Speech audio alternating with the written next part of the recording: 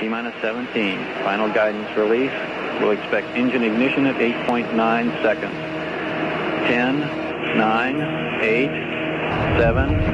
Ignition sequence started. All engines are started. We have ignition. 2, 1, 0. We have a liftoff. This is a room where I spent a great deal of time, particularly during each of the Apollo missions. There were 400,000 Americans, plus many more, that were involved in the Apollo program. These were my friends here in this room. I spent a lot of time with them. We choose to go to the moon in this decade and do the other things, not because they are easy, but because they are hard.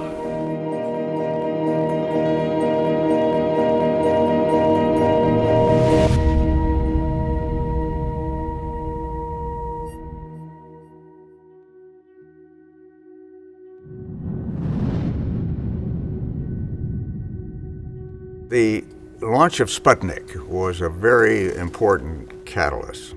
Sputnik was the first artificial satellite of the Earth.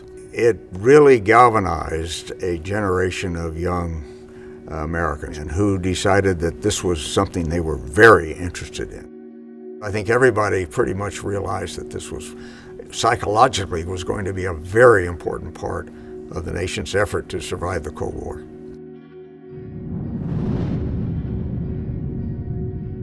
I had spent so much time here in the MOCR with the flag uh, that uh, the backup flag for Apollo 11 uh, being displayed here.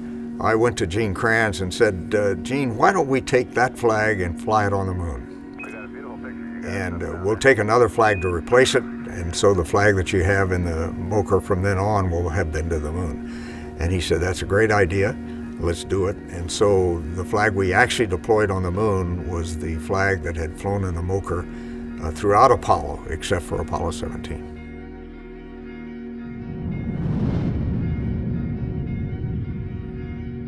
Well, when the panel in front of you is vibrating, you can't read the dials, and so you just become a passenger for about two minutes and 45 seconds.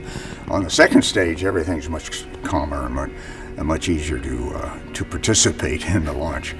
But again, uh, the crew was, were passengers except for the fact that they had to stay very much in tune with what was going on so that if something happened, you could actually fly the rocket into orbit. Once the translunar insertion burn of the S-4B was completed, then the next thing that had to be done was to uh, extract the lunar module from the uh, front end of that uh, S-4B uh, so it could go to the moon with you. We were not attached to the lunar module during launch. Uh, so uh, the, uh, there was a, a, procedure called transposition and docking where we would undock with the rocket, move away a little bit, turn around, and then come in and dock with the lunar module uh, so that we had it attached to the front of our, our command and service module.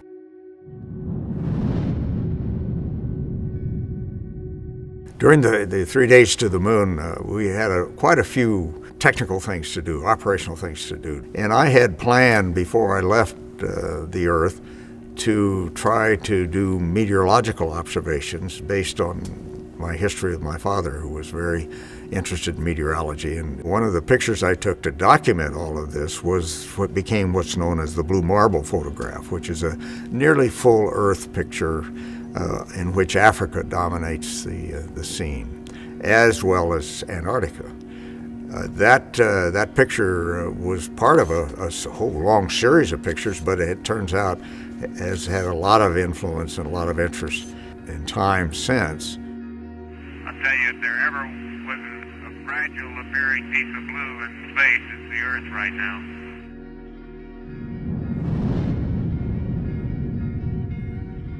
One of the interesting aspects of uh, spaceflight is that uh, you, you have to uh, eliminate uh, urine. And, and that urine is dumped overboard. And anytime you, you put something overboard, it adds a propulsive input to the spacecraft. And for three days, you know, people are sitting here watching what we were doing. They didn't have an awful lot to do, so they figured out how to do these, what they called urine burns that uh, just improved our trajectory a little bit.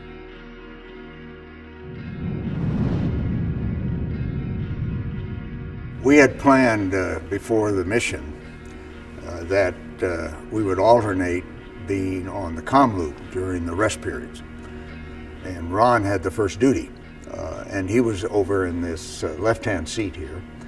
When it became time to wake up, the ground sent their usual musical wake-up call, and, and Ron didn't wake up.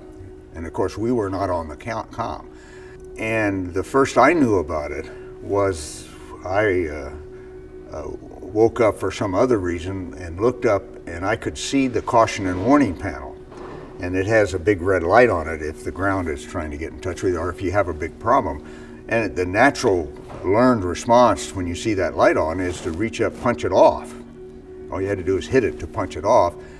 And uh, when I touched it, it was very hot, so it obviously had been on a long time. And it just turns out that the ground did everything they could to wake Ron up, and they just never did. And we, so I finally woke Ron up. And it turns out that was a problem he had even when he was a fighter pilot, is uh, waking up on the carrier. But uh, from then on, we just took him off of com duty.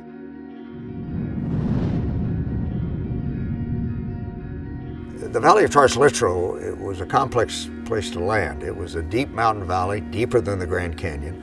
Mountains on either side to uh, 7,000 feet on one side and, and about 5,000 feet on the other, only, uh, only about five miles wide.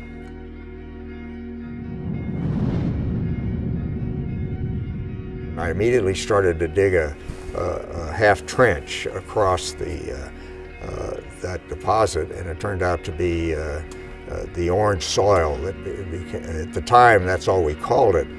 And when we finally got it back to Earth, it, everybody realized that it was volcanic ash, very colorful volcanic ash. And it's become an extremely important uh, suite of samples from that trench that has told us, tells us now about the history of the moon, about the internal structure of the moon. It's amazing the kind of information that's coming out of that.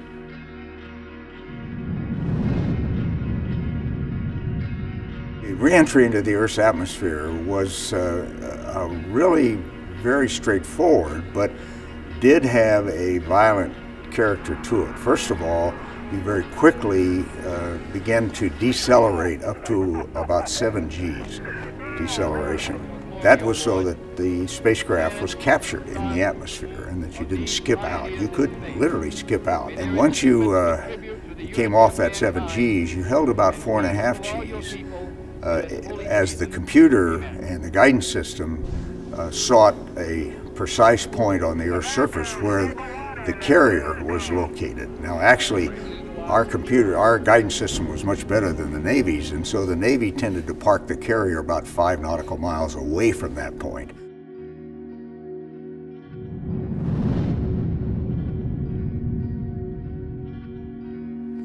Well, I said, I started out saying, I'm walking on the moon one day in the merry, merry month of, and I said December, and someone corrected me, I believe, and said May. May, when, much to my surprise, a pair of bunny eyes.